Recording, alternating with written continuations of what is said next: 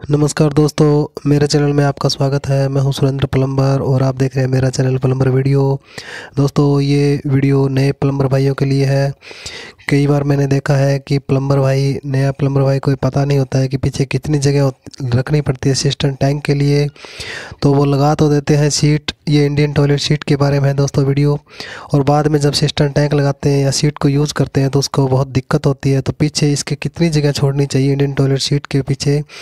आज हम बात करेंगे दोस्तों, जो पीछे दीवार होती है और इंडियन टॉयलेट सीट जब हम फिक्स करते हैं मसाले में तो उसके जो पीछे की जगह है और जो साइडों की जगह है, वो कितनी छोड़नी चाहिए, उसके बारे में बात ये वीडियो है दोस्तों। ये वीडियो स्पेशल नए प्लम्बर भाइयों के लिए है। बाद में जब हम सिस्टम टैंक लगाते हैं तो उसको लगाने में दिक्कत ना हो और एकदम सही साइज़ साइड में और पीछे एकदम फिक्स कितनी जगह रखनी चाहिए, उसके बारे में ये वीडियो है दोस्तों। पीछे जो जगह होती है इंडियन टॉयलेट शीट के लिए, वो 12 इंच रखी जाती है दोस्तों। टाइल लगने के बाद 11 इंच रह जाती है और जो साइड की है, वो भी आप बारह बाई बारह इंच रख सकते हैं। अगर जगह ज़्यादा है तो नहीं तो आपको नौ इंच ये रखनी पड़ती है, ताकि कोई अगर मोटा व्यक्ति भी इसको यूज़ करे तो उसको दिक्कत ना हो।